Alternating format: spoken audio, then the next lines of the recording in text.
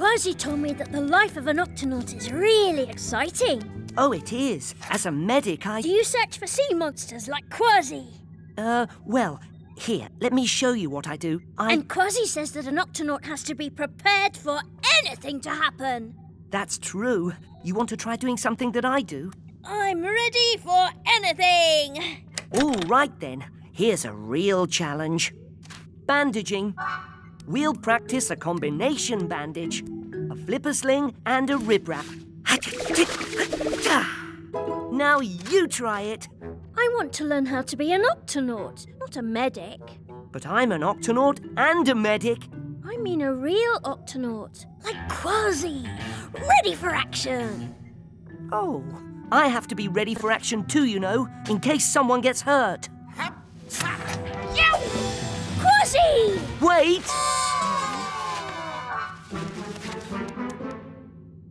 Aha! Is the ship under attack?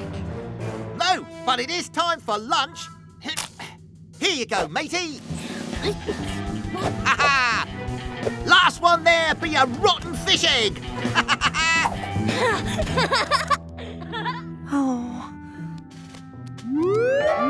The Octo Alert! Octonauts, to the HQ.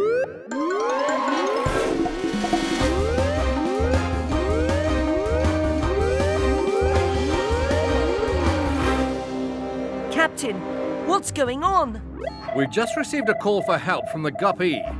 Captain Barnacle's here. Go ahead, Dashi. Captain, we seem to be stuck. Can you locate us? Uh-oh, Cap. We've lost radio contact. Dashi and Shellington are stuck, and we've got to get them unstuck. Hmm, I wonder what they're stuck in. We'll find out when we get to them, and we need to get to them fast. Can I come too? Oh, please, please, please, please. No, it might not be safe. Your big brother's right, Pinto. You better stay here with the Vegimals. I'll tell you all about it when we get back.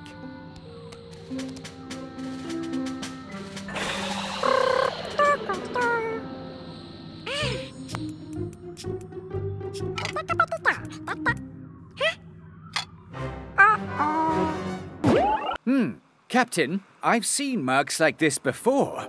Unless I'm very much mistaken, they were made by. my cousin. Your cousin? Yes, my cousin, Irving, the giant squid. Dashi, let's show them my family photos. I've been helping Professor Inkling put his family photos on the computer.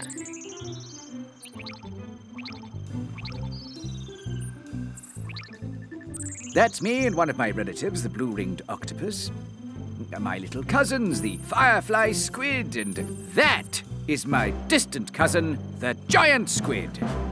That's your cousin? It's the only photo of him I've got, and it's not even a good one. I haven't seen him in a long time. He's enormous. The octopus and the squid are in the same family. I'm small and he's big, but we're alike in many ways. We both have arms with suckers. Excellent for holding on to things. Aye, that explains how your cousin grabbed the gup, eh? But why would he do it? Well, Cousin Irving may have been trying to ask for help.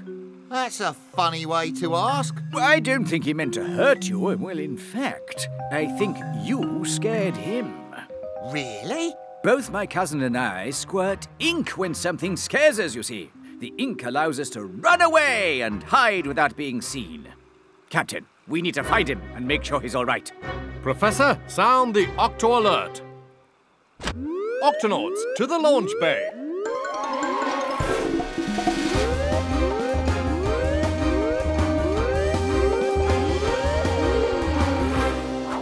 Octonauts, our mission is to find Inkling's cousin, the giant squid. Kwazii, Peso, into the gup.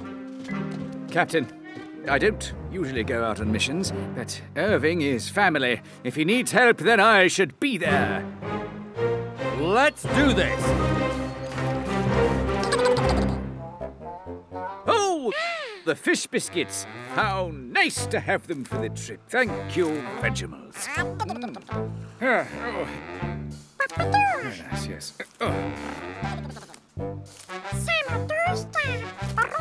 One more won't hurt. Whoa, Vegimals! I think that's all the biscuits we have room for. Prepare for launch. Open the octohatch, Tweak. Right away, Cap.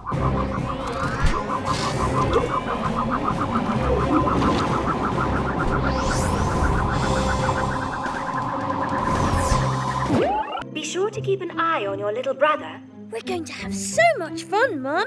We're going to play games on the Octopod, and we're going to. All right, Pinto, but we can't play right now. Captain Barnacles and the others are out on a mission, and they need my help. There's an injured fish who needs a medic right away. Pinto, promise to do whatever your big brother tells you. And Peso, good luck on your mission. Love you. Love you too, Mummy. Bye, Mum. Wow, a mission! This is just like the time those baby sea snails were in trouble and you saved them. Remember? You were a big hero. Oh, I wouldn't call myself a hero. Well, how about when you have to take care of animals that are big and scary? You have to be really brave to do that. Well, it's all part of the job. Can I come with you? Please, please, please. I don't see why not, as long as you stay out of trouble. I will. Oh, wow! Thanks, Peso.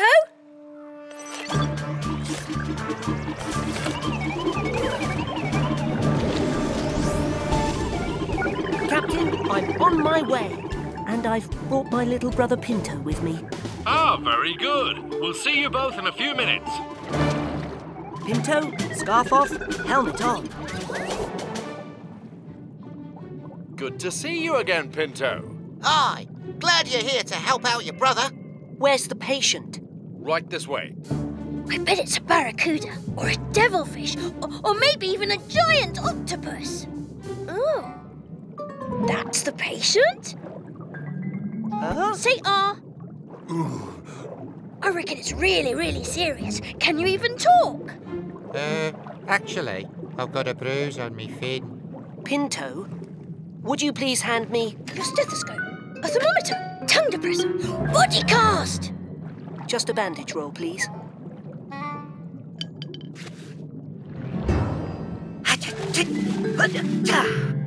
There, that should do it. Dashi, can you please take a picture so I can show my friends what a hero my big brother is? No problem. You should rest. Would you like to come back to the octopod with us so that you can get better? Thank you. Don't mind if I do. Good work, Peso. And Pinto. We still have some exploring to do around here. See you later back at the Octopod. Thank you for inviting us to come home with you to celebrate, Professor Inkling. You're welcome, Peso. And I'm excited to show you the place where I grew up. Dashi, Inkling family photos coming up. There I am with my nephew, Squirt. I can't wait to see him. He looks just like you, Professor. And this is where Squirt lives and where I grew up. The Seamount. It looks like a huge mountain. It is. A seamount is simply an undersea mountain. Exactly, Shellington. Lots of creatures make their homes there, including the golden coral. She's 500 years old. 500 years old. That's a lot of Christmases. Oh, she's beautiful. I've never seen coral that colour before. The golden coral grows only on this seamount. At Christmas, we all gather round her and sing a special song with the Christmas tree worms. Christmas tree worms? Now you're pulling me poor. No, they're real. They live inside holes in rocks, and when they pop out, They look like little Christmas trees. yes, they make Christmas on the seamount very special. And if we're going to make it there in time for Christmas, then we better get going. Dashi, activate launch. Launch activated, Captain.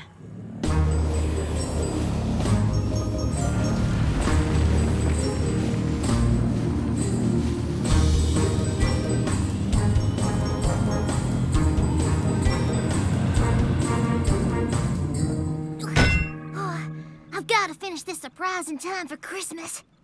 Hand me another ham of tuna. Thanks.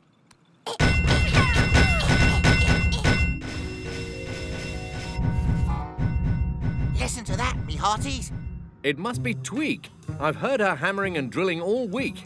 Aye, she's working on a top secret Christmas present. I wonder what she's making. I wish I knew, matey, but she won't let anybody down there. We'll just have to wait until Christmas to find out. In the meantime, would you help me wrap a few presents, Peso? Of course, I love wrapping presents. Octonauts, let's get ready for Christmas! The octopod! I see it, I see it. We're almost there, Mum. Yes, dear. I'm so excited to see my big brother, the Octonaut. I hope they get here soon. Pinto, Mom, you're here! I can't wait to ask Peso about his adventures. And look, Mum, we get to swim through the octohatch. See how it opens? Isn't that cool? Yes, dear.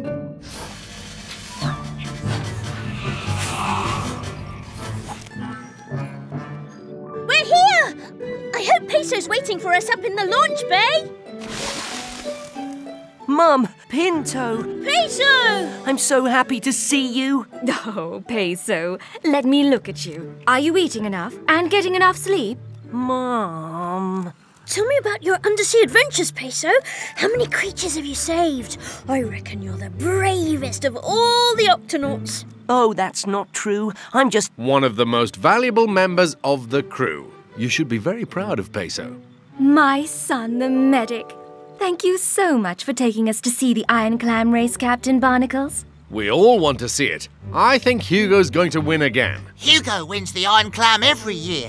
What's the Iron Clam race? And who's Hugo? I'll show you. I've got some great video I shot of last year's race. There's Hugo in the sliding event. Whoa, he's fast. He broke the penguin diving record, too. He went deeper than any other penguin ever has. And held his breath for more than 20 minutes. Wow, that's a long time even for a penguin. Yow! And he swims almost as fast as the Gup Bee. No one can beat Hugo. He's so good at everything. Are you ready to watch the Iron Clam, Pinto? I am. Actually, I have a big surprise for you. What kind of surprise? Well, since Hugo wins every year, this year no other penguin was brave enough to go up against him. Oh, don't tell me they're cancelling the race. They were going to, until your little brother had his brilliant idea. Yep, I saved the race by finding the one penguin brave enough to compete against Hugo. Great. Who? You! Ah, well, it looks like it's just you and me. So, what? Rocco? Where'd he go? Rocco! Kwazii! Cannonball! Daredevil! That's what my mum always says. Let's swap rocks. I want my old rock back. Because it's better. I'm sure the rocks that I gave you were exactly the same. No, my old rock had a brown spot on it and this one doesn't. Let's swap back. No. I'm sure we can work this out. Now flip. I'm Flap. Hey, Flip. Oh, sorry, flap. You mean Flip? Yes, floop. I mean fleep. I mean, oh, flappity flippers. Flap, if you flip over your rock, you'll see it has a brown spot just like Flap's. I mean flips. Flappy now. I mean happy now. Happy. Phew. See that bird up there? Aye, matey. I like to play a little game with him. Watch this. Hey there, you big beaky birdie! You don't scare me! See? Now he's coming to get me. Shiver, Whiskers. He is coming to get you. Yow! That was fun. that was close. Rocco, me hearty, you have to be a little more careful. Even in my pirate days, I knew. Where'd he go? Rocco? Kwazii! Cannonball! Whoa! I think Captain Barnacles has the easy job today.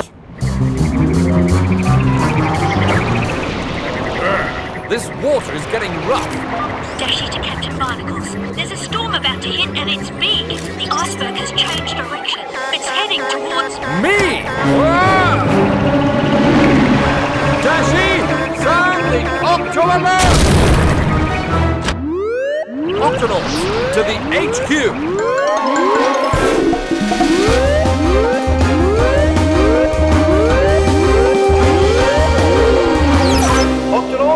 A big storm on the way.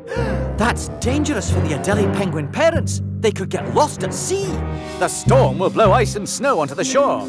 Peso and Kwazii will need to find a way to keep the chicks warm. Dashi, contact Peso and tell him to get ready for ice and snow. Already on it, Captain. I'll find and rescue the Adelie penguin parents, but I'll need a bigger gup. Tweak, meet me outside the octopod with the Gup C. Got it, Cap. Octonauts, let's do this! Red urchins destroy kelp roots. They can wipe out an entire kelp forest. Unless there are sea otters around to eat them. Pearl! Hello, Shellington. Everybody, this is my sister Pearl, the sea otter. Oh, hiya. Hi Hello. there, matey. Pearl is a scientist, just like me.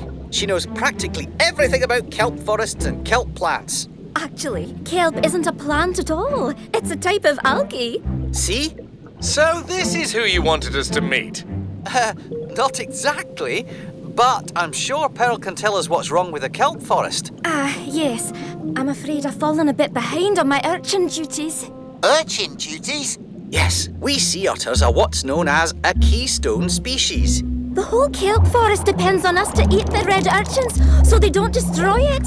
It's our duty as sea otters. But I've never seen you eat an urchin. Uh, well, actually, as it turns out, I'm allergic to urchins. Shellington helps the kelp forest in a different way, as an octonaut. Oh, Usually I can keep the urchins under control all by myself, but lately I've been kind of busy with. Well, let me show you. He's right over here. I wrapped him up in kelp so he wouldn't drift away. Everybody, this is Periwinkle. This is who I wanted you all to meet. My new nephew. Oh, Look at Look how fuzzy he is. Perry's still just a baby, so I spend most of my time feeding him, cleaning him, and teaching him how to find food. Once Per is a little older, he'll be able to dive down to eat red urchins too. As a matter of fact, it's just about time for Perry's first diving lesson. Oh, but I still have to catch up on my urchin duties. Pearl, why don't you and Shellington give Perry his diving lesson and let us clear the urchins out of the kelp forest? Oh, that would be wonderful. Octonauts, let's do this! Come on, Uncle Barnacle. Let's go. All right, Cubs, you're about to begin a journey that all polar bears have made for as long as any of us can remember. And we're the only bears in the world who make this journey. So, are you ready to go Ready. and earn your first Polar Scout badges? Oh! Yes. Then let's get started by climbing that. Ah, ah. now take it slow. Pull the front paws. Push with the back paws. Pull. uh, Push. uh, Pull. Push. Got it. Made it. And now we slide down on our tummies like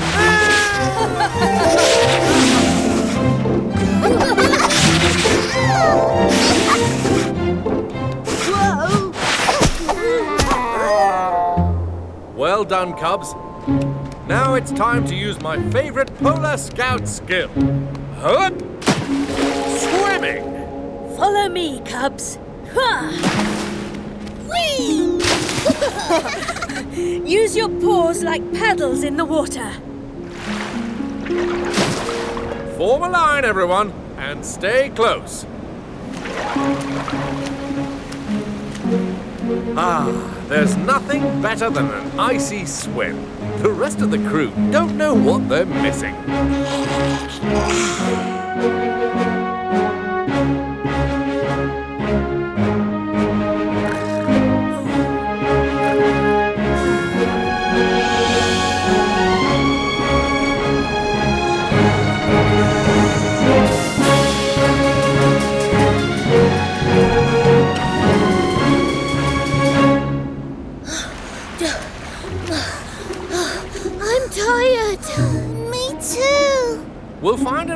Soon and take a rest.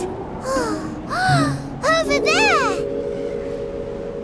Hmm, there's a colony of walruses on that ice floe. Walruses are very territorial. They don't like to share their ice floe with anyone. We'll find another ice floe. Come on. I'm not afraid of walruses, are you? No. Come on.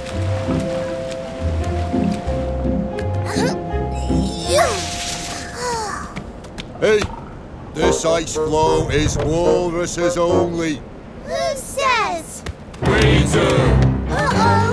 Uh... Captain, it's been my experience that tentacles untangling tentacles is never a good idea. I'd have to agree. But I could protect these fish. I don't have stinging tentacles, but I do. Report!